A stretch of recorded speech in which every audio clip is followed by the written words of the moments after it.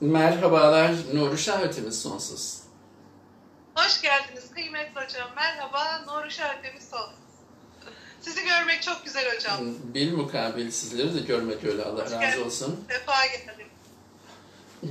Nasıl güzel, başarılı bir ekipsiniz oğlunuzla, ailenizle beraber. Nasıl bu kadar çok ve farklı eğitimler veriyorsunuz. Bravo size, elinize, yüreğinize sağlık. Teşekkür ederim. Yeriniz çok özel. Eğitmen olarak, kurucumuz olarak bize destek veren böyle kale gibi, baba gibi arkadaş. Nereye koysak oraya yakışıyorsunuz. Anlata anlata bitiremem. Ayın 3'ünde Samsun'dan oğlumla yolculuğa çıktık. Önce İstanbul, oraya geldiniz, onurlandırdınız. Arkasından Ankara, 2 saat canlı yayına katıldınız. Çok büyük mucizeler yaşadık sayenizde grup arkadaşlarımızla. Arkasından İzmir'e davet ettik, davetimize icabet ettiniz. Sizin eğitim sisteminizin içinde eğitmen olmak gurur verici bir şey. İsteyen herkese nasip etsin. Canlı yayınınıza bağlı arkadaşlarla bir otelin havuzunda sizi konuşurken orada da davet ettik. Spil dedik, Spil'e geldiniz. Hocam hakkınız ödenmez. Allah razı olsun. Nuru şer ötesi olsun hayatlarınız. Böyle e, yani söylenecek sözün bittiği yerdeyiz. Hakkınızı helal edin. Varlığınıza şükürler olsun. Helal, hoş olsun. Bir hiçbir hakkımız yok. Sizlerin hakkı var. Sizler hakkınızı helal edin. Ne güzel. Helal. Hmm, güzel şeyleri çoğaltmak, eğitimleri, şifalara vesile olmayı, insanlara yeni bilgileri ulaştırmayı başarmak ne güzel. Elinize, yüreğinize sağlık. Ve siz bunun her tür donanımıyla iç içesiniz. Oğlunuz tamamen sosyal medyayı en iyi biçimde kullanıyor. Siz bugüne kadar aldığınız bütün eğitimleri en güzel şekilde veriyorsunuz. Eşiniz sizi destekliyor. Tüm bunlar bir araya gelince işte başarının sırrı burada. Çok teşekkür. Bunlar zaten vardı ama eğitim sisteminin içinde sizin kurucusu olduğunuz eğitimin içinde olmak, frekansınızı yükseltmek, bu herkes eğitim alıyor. Ama bu Noruşa ötesi frekans tanımlanmaz yaşanır diyorum sadece. Biz size çok teşekkür ediyoruz. Bütün eğitmen arkadaşlara aynı yeteri kadar ilgiyi, desteği tam gaz veriyorsunuz. Varlığınıza şükürler olsun. Hakkıyla eda edebiliyorsak ne mutlu bize. Sayın Hocam. Valla çok güzel bunu yerine getirdiniz. İstanbul'daki eğitiminize katıldık. İzmir'deki eğitiminize katıldık. Ankara'da eğitiminiz olduğunu gördük. Ben bir zamanlar bu şekilde eğitimlerdeydim. Artık ben biraz şifalara vesile olmaya çekildim. Artık sahalar sizin. Sayenizde, desteğinizle 3 ayrı büyük şehirde eğitim verdik. 50'nin üstünde katılımcı arkadaşımız vardı tek modüle. 50'nin üstünde ikinci modüle katılımcımız vardı. Ağustos ayında inşallah yine aynı gaz devama niyetliyiz. Bakalım Ağustos'un bize hediyeleri, hikmet ilahileri neler olacak kıymetli hocam. Son haftasına girdik. Bu hafta içinde ba- barındırıyor. Her anımız bayram oldu ama bu öğretilerle. Çok şükür.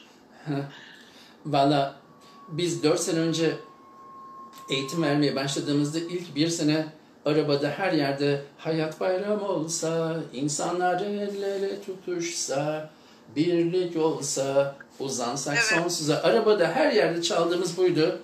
İşte Evet. Dördüncü yılımızda da bu güzel şarkıyı yad ettik. Çok şükür. Her şey odaklanma meselesi. Biz hayat bayram olsa, insanlar el ele tutuşsa, birlik olsa şarkılarıyla yola çıktık ve ana, odağımıza ulaştık. Çok şükür. Nur şertesi oldu. Amin. Hocam katılan arkadaşlara şu an 130, 132 kişi katılımcı arkadaşımız var. Biz anlatıyoruz bir şeyler. Yeni katılan arkadaşlar Refik Korkmaz bilinçaltı sembol dili birinci modül, ikinci modül mucizeler, üçüncü modül ruhsal şifa ne demek? Bunu nasıl özetleyebiliriz? Bunu sizin dilinizden kurucumuz olarak duyabilir miyiz bu akşam? Baş tacısınız memnuniyetle. Refik Korkmaz eğitimleri 3 modülden oluşuyor.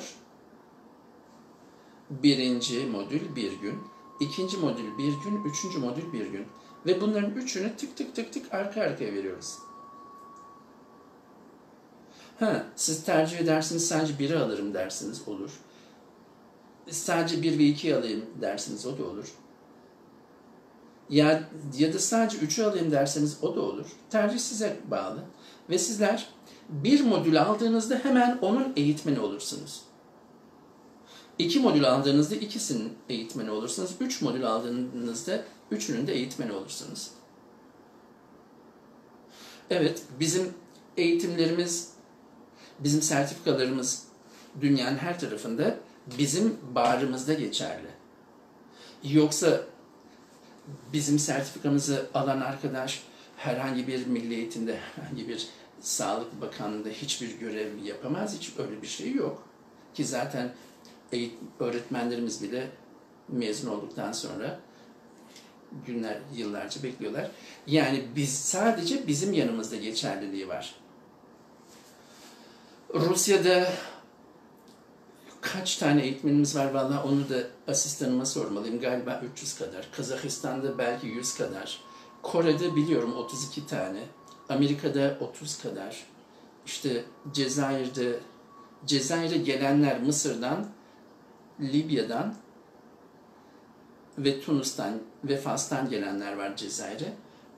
İşte Kuzey Afrika'da belki 25 tane eğitmenimiz vardır. Avrupa'nın diğer ülkelerinde artık tüm ülkemizdeki sayı tahmini 5000 eğitmenimiz, diğer ülkelerdeki eğitmen sayımız yaklaşık 2000 ve toplam 7000 eğitmenimiz var. Bu eğitimlerin sertifikaları bizim merkezimizden, asistanım Emiş İspir tarafından yönetiliyor. Birinci modülü aldığınızda hemen sertifikanız gelir. İkinci modülü aldığınızda hemen sertifikanız gelir. Üçüncü modülü aldığınızda hemen sertifikanız gelir ve hemen ertesi gün siz bu eğitimleri vermeye hak kazanırsınız. Dilek Üstün Hocam gibi 7000 eğitmenimiz var. Siz Dilek Üstün Hocam'dan birinci modülü bir gün alıyorsunuz ya, sonra zerre kadar fark hiçbir ücret ödemeden ömür boyu Refik Korkmaz'dan eğitim alıyorsunuz. Nasıl oluyor bu? Dört yıldır ben dünyanın pek çok yerinde demin saydığım ülkelerinde eğitimler verdim. 750 tane bunlar. Ve bunların hepsini baştan sona kadar eğitim boyunca video kayıtlarını aldım. O video kayıtları 750 tane. Onların hepsi Facebook'ta kapalı gruplarımız var. Birinci modülü Dilek Hocam ve 7000 eğitmenimizden alan eğitmen arkadaşlarımızı hemen o birinci modül grubuna dahil ediyoruz. İkinci modülü alanı ikinci modül kapalı gruba, üçüncü modül alanı üçüncü modül kapalı gruba dahil ediyoruz. Orada 750 tane eğitimleri paylaşıyoruz. Siz Dilek Hocam'dan bir gün eğitim alıyorsunuz, sonrasında ömür boyu benden eğitim alıyorsunuz. Hem de hiçbir ücret ödemeden. Hem de sertifikanız ömür boyu geçerli. Bizim, biz yaşıyorsak, sistemimiz yaşıyorsa hiçbir şekilde sertifikanızı yenileme ihtiyacı yok. Süresi de yok sonsuza kadar bizim eğitmenimiz olmaya devam ediyorsunuz. Birinci modülde biz diyoruz ki arkadaşlar bakın bu bizim gördüğümüz dünya bizim gördüğümüz gibi bir dünya değil. Ve bugüne kadar bizim öğrendiğimiz pek çok şey yanlış. Ve bizim imkan diye gözümüzün önünde serili olanlar evet imkan ama onlardan çok daha büyük imkanlar var. Biz o imkanları görmezden geliyoruz. Hadi o imkanları görelim diyoruz. Yaşadığımız dünyanın bizim zannettiğimiz kadar basit bir dünya olmadığını birinci modülde öğretiyoruz. Biz buna beş boyutlu evren diyoruz. İşte beş boyutlu evreni anlatıyoruz. Benimle şu duvar arasında yaklaşık iki karış mesafe var. Bu iki karış mesafede şu iki elimin arasında 10 santimlik mesafe var. Bu 10 santimlik mesafede şimdi 1 santim var. 1 santimlik mesafede nasıl bir dünya var? Nasıl bir evren var?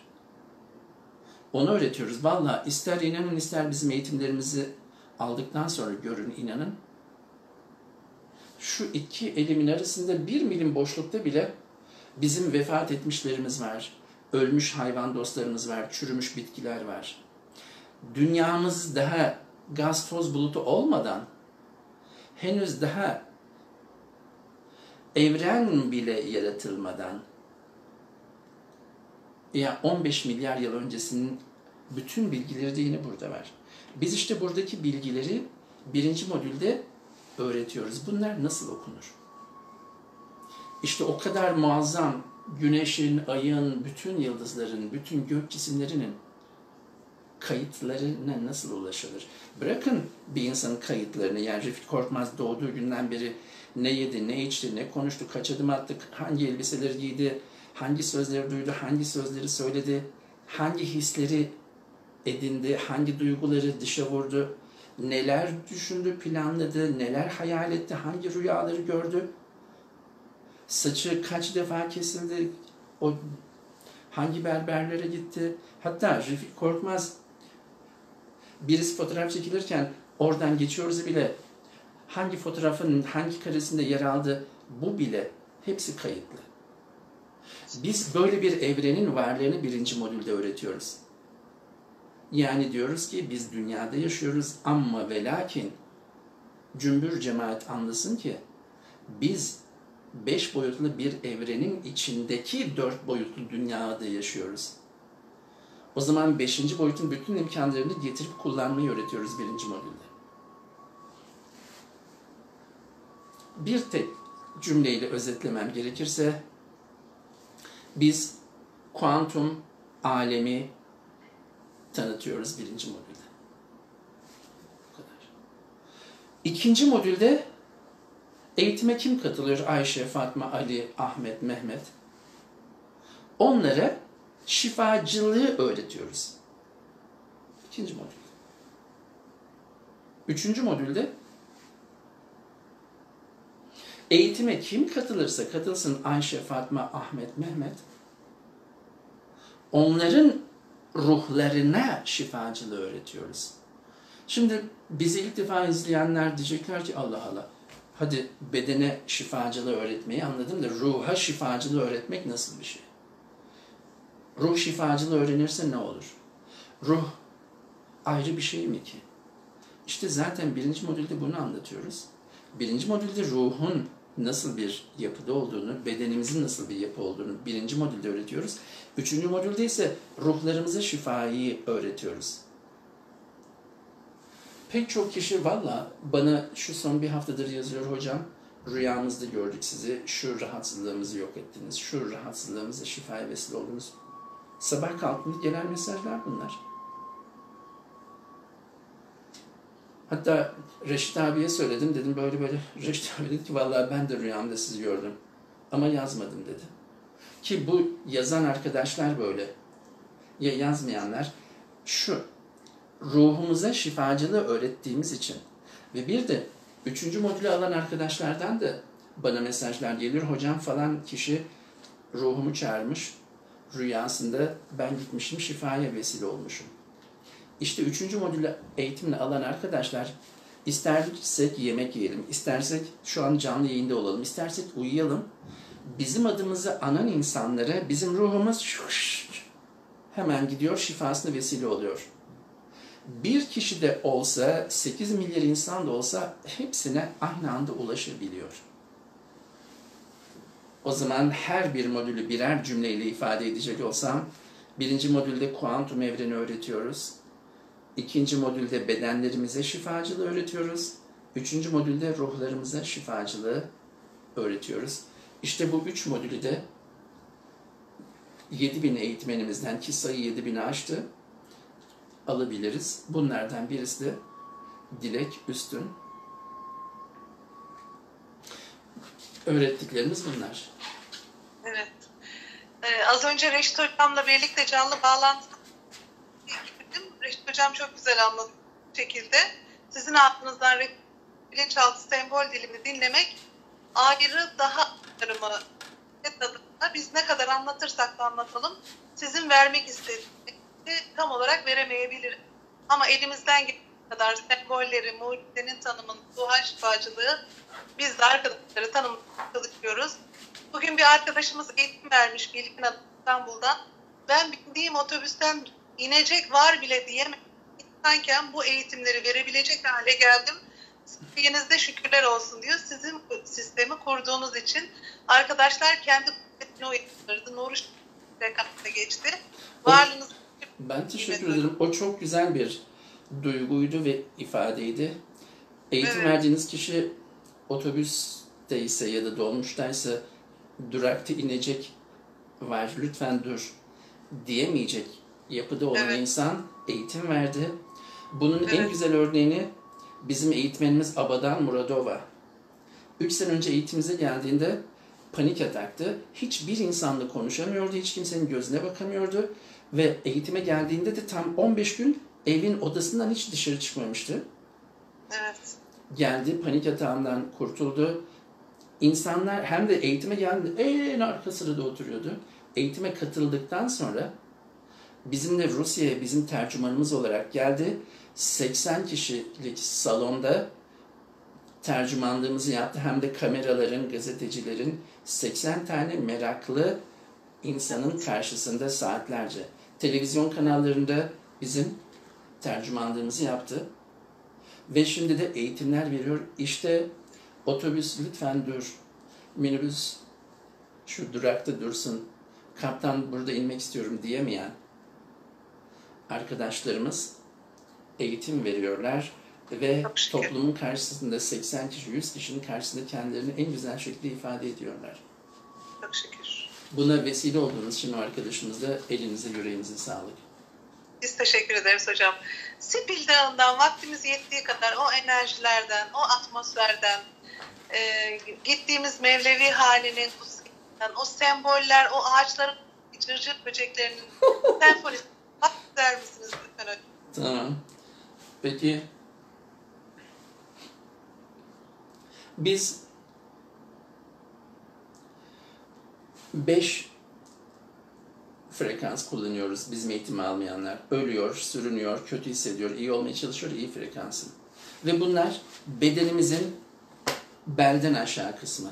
Ölüyorum demek ayaklar. Sürünüyorum demek baldır. Kötü hissediyorum demek diz. İyi olmaya çalışıyorum demek üst bacak.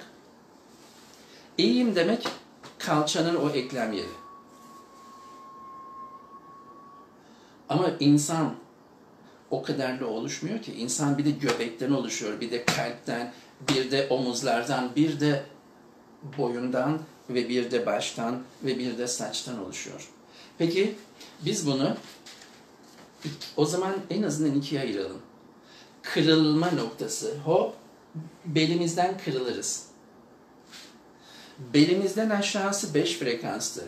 İyiyim, iyi olmaya çalışıyorum, kötü hissediyorum, sürünüyorum, ölüyorum. He, belimizden yukarı çıktığımızda çok iyiyim, şahaneyim, harikayım, muhteşem ve mucizeyim. Ve mucize ötesiyim. İşte biz hep neyi anlatıyoruz? Diyoruz ki Gılgamış ölümsüzlük ilacını bulmuştu, otunu. Onu bir yılan Gılgamış'ın elinden kaptı, toprağın içine kaçtı ve insan da bir daha o ölümsüzlük otunu bulamadı. İşte o yılan bizim şuradaki yılanımız, kuyruk sokumumuz yılanın kuyruğu. Belimiz yılanın beli, sırtımız yılanın sırtı, boynumuz onun boynu ve kafamız yılanın kafası.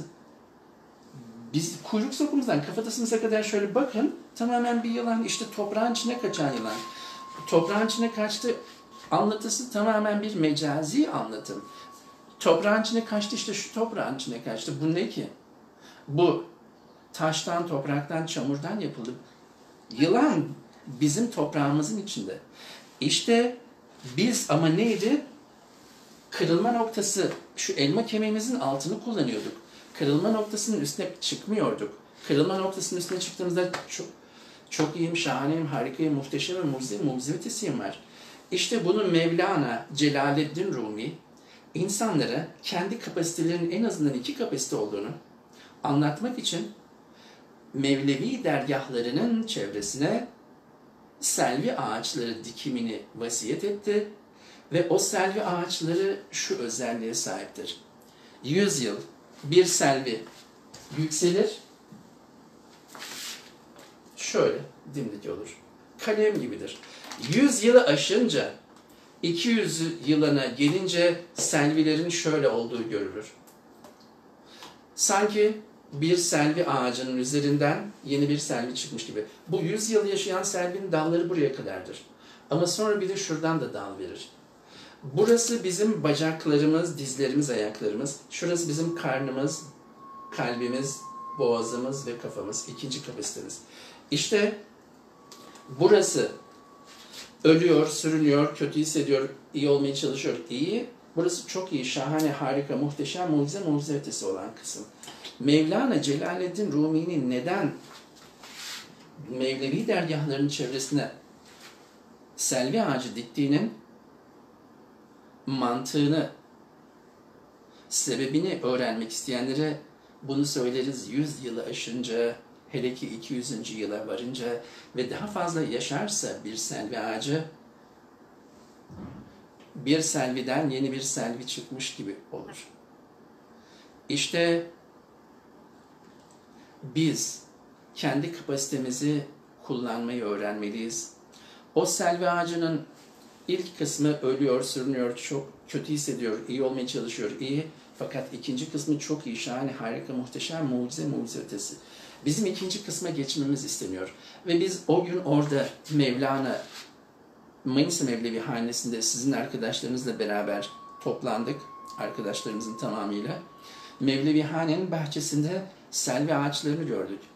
Yaşı 100 yılı aşan selvilerin iki selvi haline geldiğini gördük. Ve bazılarının yaşı benim de yaşıttı. 48 yaşında, 50 yaşındaydı. Hatta bazıları 60 yaşında. Ben onları nereden biliyorum? Çünkü 40 yıl önce Valla Manisa Mevlevi Hanesi'nin çatısına çıkıyorduk. Oradan böyle daha yeni çatıya kadar uzanmış selviler var ya oradan atlıyorduk tavan çatıdan ağacın dalına or, ağaçtan aşağı iniyorduk. Gittiğimizde baktım onlar büyümüşlerdi işte 60 yaşına falan gelmişlerdi büyük ihtimalle. Hala tek parça. Yüzü aşınca çift parça haline gelecekler. Peki o iki hale geliyor. Bir de insan yüzü oluşuyor. Şöyle bir insan yüzü vardı. Gövde, boyun ve çene ve burun ve göz ve alın ve saç ve bir kalpak vardı. Doğuya bakan bir gülümseyen yüz, bir de aynı anda batıya bakan turşu bir yüz. Bütün güzelliklerin ve güneşin doğudan doğduğu, o yüzden güneşe gülümseyen bir adam yüzü, güneşin batışı, babanın ölümü, gecenin gelişi, çarşıların kapanması, karanlıkların gelmesi, istenmeyen her şeyin ve ölümün de kendisinin ifadesi olduğu için batıya bakmaksa üzgün turşu bir suratlı, turşu suratlı bir adamdı. Bu oradaki sedir ağacın yapısıydı. Hop bir sedir ağacı ve üstünden yeni sedir ağacı çıkmış gibi doğuya bakan yüzü, gülümseyen batıya bakan yüzü ise küskün, hayattan bıkmış, turşu satan, turşu yüzlü bir adama dönüşmüştü. Ve biz Mevlevihane'nin baktık orada 1369'da tamamlandığını gördük. Orasını fetheden Saruhan Bey. Saruhan Bey'in torunu İshak Paşa tarafından orası yapıldı. Ve orada yine Ulu Camii var. Manisa Mevlevi Hanesi'nden 2 kilometre kadar batıda. Oranın da kiliseden camiye dönüştürülmesini ve düzenlenmesini yine İshak Paşa yaptı. Şimdi Mevlevi hanelerin bahçesine dikilen ağaçlardan söz ettik. Bir de dünyada kaç tane Mevlevi hane var bunun sayısını bilmiyorum. Fakat benim gördüğüm Mevlevi haneler, e, benim bizzat kendim gittiğim gördüğüm Mevlevi haneler var. Konya Mevlevi Hanesi dışında e, Galata Mevlevi Hanesi mesela. Başka şehirlerde de Mevlevi haneler var. Gelibolu'da da var. Mevlana'nın e, işte bu dergahını farklı coğrafyalarda sürdürmek çalışması bunlar. Tüm bu Mevlevi, İstanbul'da Yeni Kapı Mevlevi Hanesi var. Tüm bu Mevlevi haneler içerisinde en prestijli olanı Konya, ikincisi ise Manisa Mevlevi Hanesi. Yani biz bekleriz ki İstanbul payitaht. Niye İstanbul'da Mevlevi hane yok? Pardon, niye İstanbul'daki Mevlevi hane en prestijli ikinci Mevlevi hane değil? Edirne payitahtı. Niye Edirne Mevlevi Hanesi Manisa Mevlevi Hanesi'nden daha prestijli değil? Peki niye Osmanlı İmparatorluğu şehzadelerini Manisa'ya gönderiyor? Niye Manisa'da dünyada ilk defa para kullanıldı? Niye Odisea ve İlyada destanlarının şairi Homer Manisa'da yaşadı? Niye 500 küsür yıldır şifa olan Manisa mesir macunu Manisa'dan dağıtılıyor? Hani İstanbul'da böyle bir gelenek yok. 500 küsür yıldır insanların şifasına bir e, ilaç dağıtılsın yok. Manisa'da mesir macunu bir ilaç dağıtılıyor. Allah Allah. Sonra Kanuni Sultan Süleyman Han Muhteşem Süleyman, muhteşem ünvanını alan başka bir padişahımız yok. O Manisa'da şehzadelik yapmış. Bir çağı, kapa orta çağı kapatan, yeni çağı açan büyük imparatorumuz, büyük Hakanımız Fatih Sultan Mehmet Han. E o Manisa'da şehzadelik yapmış. Fatih Sultan Mehmet Han'ın babası 2. Murat 40 yaşına geldiğinde dünyayı yönetmek istemiyor. Daha doğrusu Manisa'nın cazibesi onu çekiyor, dünya yönetimini bırakıyor. Diyor ki ben Manisa'ya gideceğim. Allah'ı yad edeceğim. Varalım bir iki gün zikredelim Mevla'yı. Bize ısmarladılar mı şu yalan dünyayı diye beyit yazıyor ve Edirne'de başkentin sarayını, yönetiminin her şeyini bırakıp Manisa'ya geliyor. Hem de kim bunu yapabilir? 30 yaşında, 40 yaşında bir veliahtınız vardır. Emin ellerde dersiniz, bırakırsınız. Ama daha 12 yaşında oğlunuz var.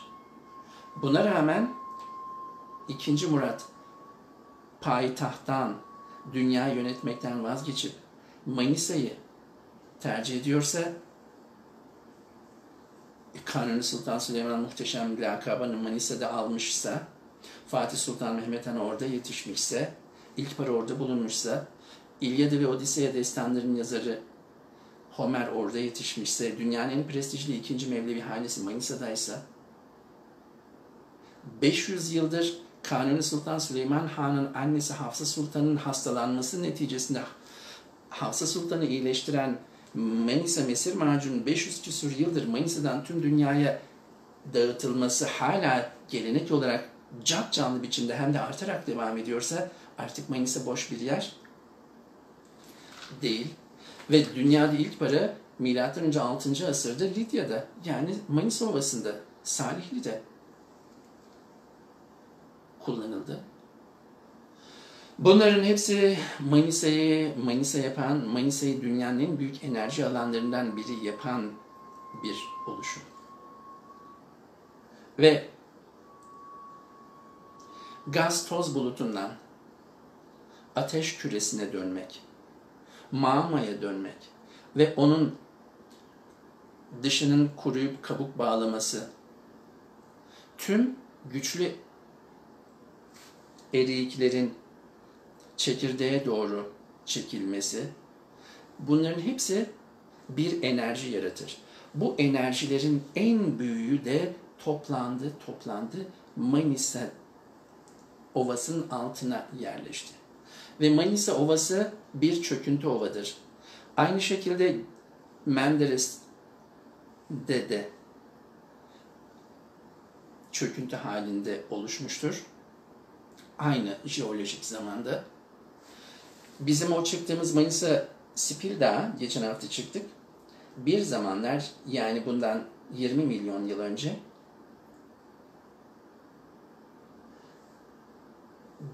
ova ile aynı seviyedeydi. Daha doğrusu ova yoktu orada. Orası bir platoydu. 1500 metre yüksekliğinde bir plato. 20 milyon yıl önce şık, tektonik hareketler sonucu bir buçuk kilometre yani 1500 metre çöktü o Spil Dağı. Çöken kısım ovayı oluşturdu. Kalan kısım işte bizim o gün ziyaret ettiğimiz Manisa Spil Dağı'nı oluşturdu. Ve zaten gördünüz ya bir anda böyle jiletle bıçakla kesilmiş gibi uçurum halinde bir kaya yükseliyordu. O uçurumun üstüne gittik.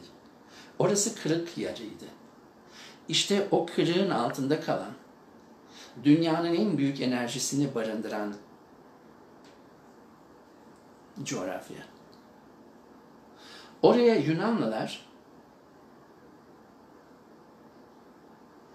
Yunan mitolojisinde çok tanrıcılık vardı.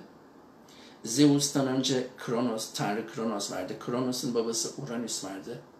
İşte bunlar Zeus'tan daha büyük tanrılardı. Onların hepsini Zeus Manisa Spil'den altına gönderdi. Yunan işte biz tüm ben tüm bunların hepsini mitolojiden getirdim. Yunanlar diyorlar ki insanlığın bildiği bileceği en güçlü enerji Manisa Spil Dağı'nın altında. Ve bu dört yıl önce, üç buçuk yıl oldu, dört yıl oldu. Manisa Spil Dağı'nda bu enerjiler kendisini gösterdi bize. Manisa Dağı. Böyle muazzam etkiye, enerjiye sahip. Ve bir de oranın adı da kendisiyle müsemma şu. Oranın adı 1313'te Türk fethinden önce Magnezya'ydı. Magnetik, manyetik yani mıknatıs idi. Oranın taşı mıknatıs ve Manisa Spildağ yekpare bir kayadır. Maviye çalar, mıknatıs etkilidir, metali çeker. Bu kadar çok şey orada barınınca bir arada olunca oranın dünyanın şifa merkezi olması da kendiliğinden hak ettiği ve kendi bağrında yarattığı, yaşattığı bir durum. Biz şunu biliyoruz. İnsanlar geçen yıla kadar uçaklarla, ülkemizden de uçaklarla, kafilelerle, Amerika'dan başka yerden kafilelerle, gemilerle, uçaklarla, otobüslerle Brezilya'ya giderlerdi. Orada John of God, oraya şifaya giderlerdi. God'ın şifalarını vesile olmalarını isterdi. Evet, God'da adamların, hastaları şöyle dokunuyor. Jileti bir atıyor, ya da elini bir sokuyor böyle ciğerini çıkarıyor, bir şeylerini çıkarıyor. Kan, man, kan revan. Şifaların öyle vesile oluyor. Du. İnsan, ülkemizden giden çok arkadaşımız da var, tanıdıklarımız da var. Tabii insan şifa nerede varsa peşine düşmek zorunda. Gitmek zorunda. Allah'a şükür artık bizim de dünya şifa merkezi olmak gibi bir özelliğimiz gerçekleşti Manisa Sipil Dağı'nı tanımak sayesinde. Ve bizim Manisa Dağı'na gelenler dünyanın neresinden olursa olsun ya da bizim eğitmenlerimizden şifaya vesile olmalarını istediklerinde biz elimizi onları dokundurmuyoruz. Biz öyle kan revanla işimiz yok.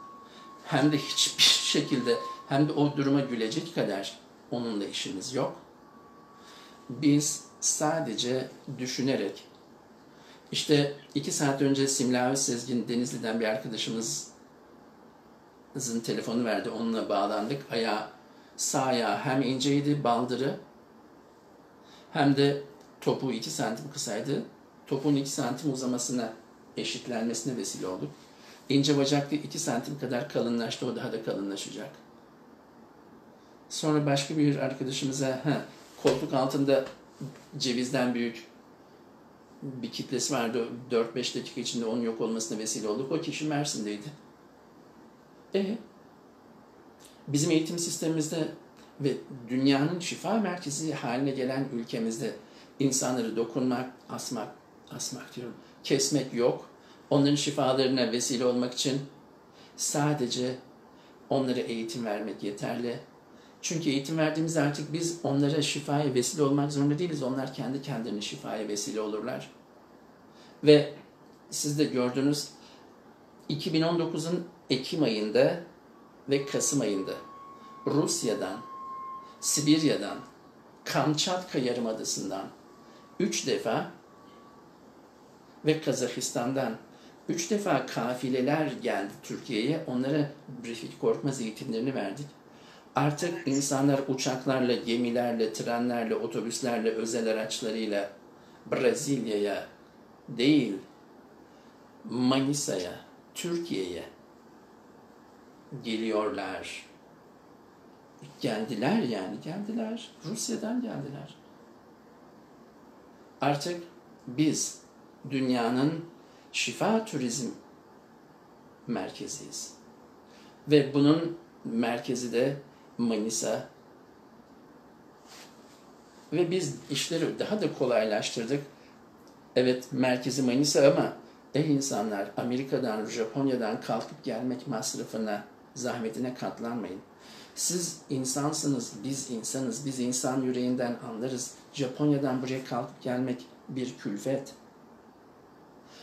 Oradan buraya gelmek uçak yolculuğuyla 12 saat, gemi yolculuğuyla artık kaç gün?